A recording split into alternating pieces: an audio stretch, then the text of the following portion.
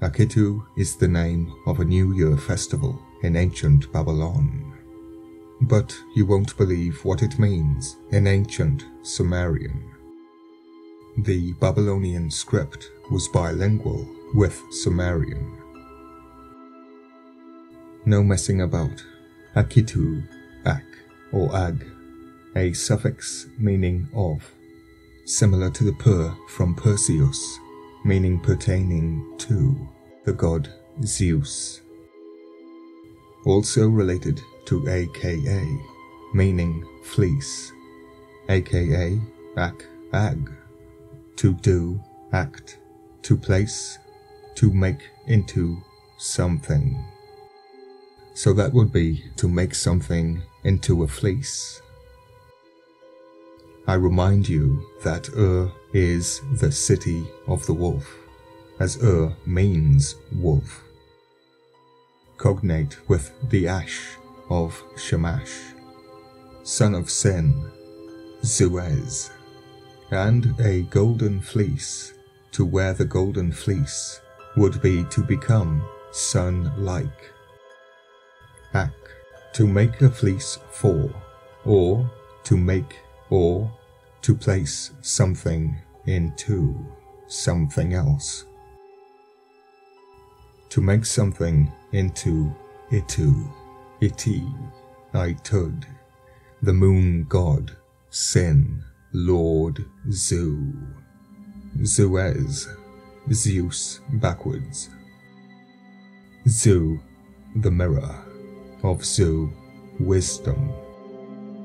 Iti ud di nana, moonlight. The sun god Nana. I tud, I did, I too, I tea, I d, it. we are told. The moon, the month of moonlight. Do tell me again about this dying and rising sun god. Itu, to approach and meet the sun.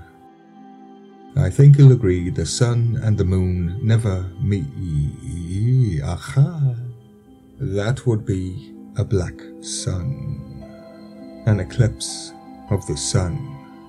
Itu, to become the god of the sun. The father of Shamash is Sin Lord Zu. The lion is known as both father and son. Dumu, the child. Z, spirit, spirit weapon.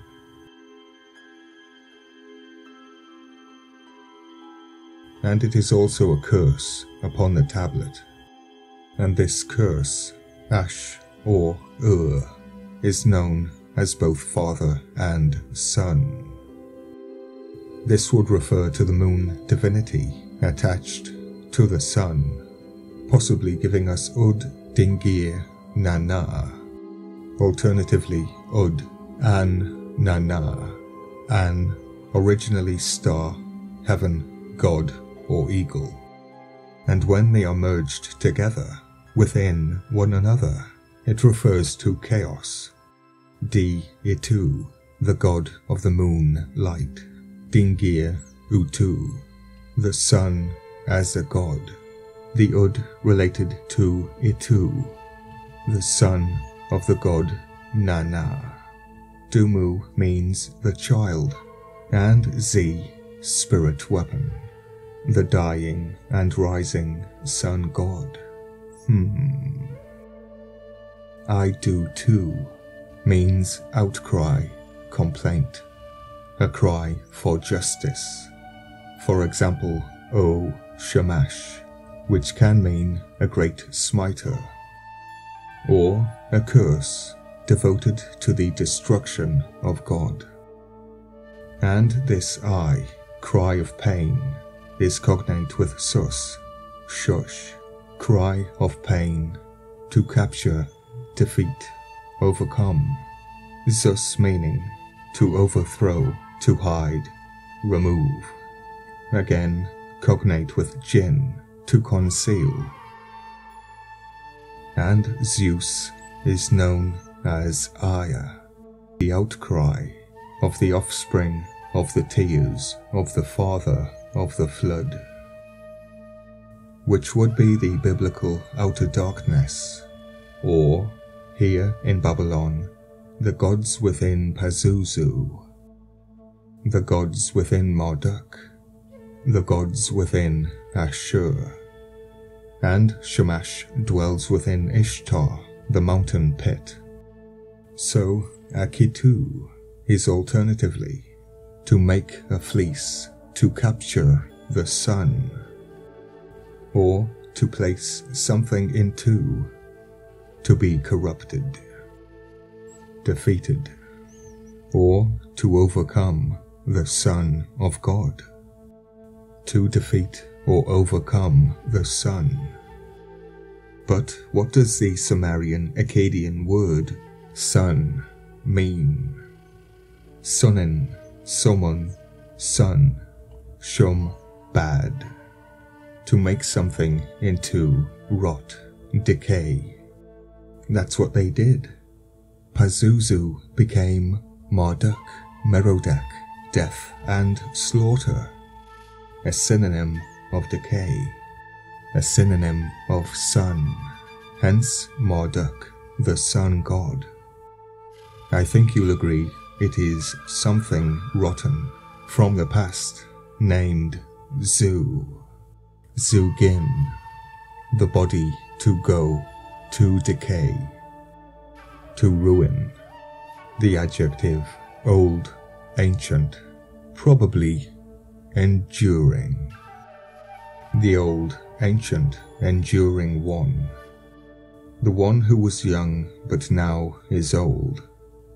Akitu, a festival beginning with Sin, Nabu, and Marduk, and his magical cloak, which makes things disappear. Akitu, to make a cover for something to overcome death. It would appear that they are watching, looking for a replacement for Merodach, evil Merodach, who shares the name with Mary. I do not refer to the person, but the idolatry draped around him. Marduk revels in raising the dead. Akitu, to make a cover for something to overcome death.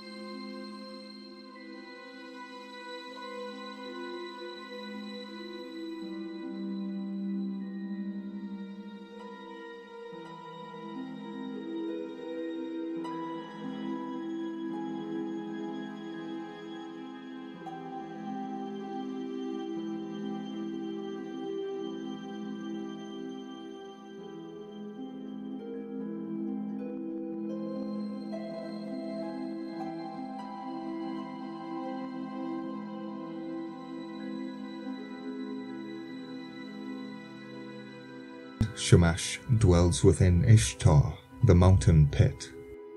So Akitu is alternatively to make a fleece to capture the sun, or to place something into, to be corrupted, defeated, or to overcome the Son of God, to defeat or overcome the sun.